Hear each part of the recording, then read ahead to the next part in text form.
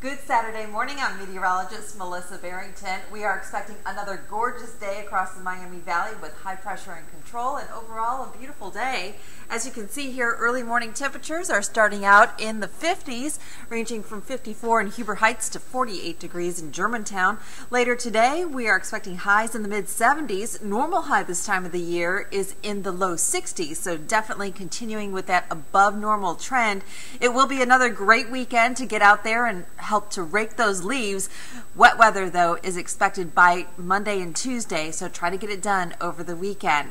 If you're planning on going for a hike, maybe checking out the fall colors, as you can see here, Indian Lake, John Bryan, and Caesar Creek are all near peak, and in Hueston Woods, the colors are changing as of this time.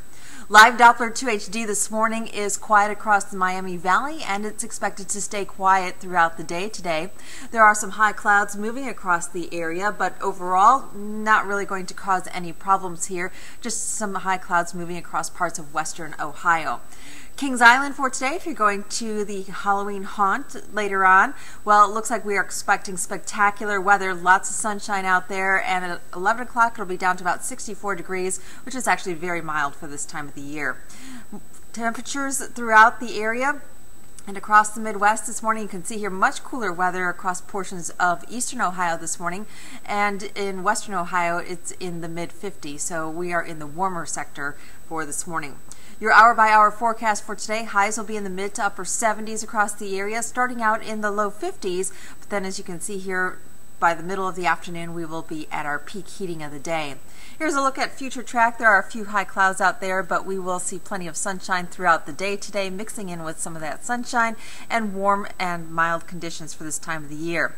Sunday, we're expecting more dry weather, but there is an approaching cold front that will change our weather starting Monday with a chance of rain.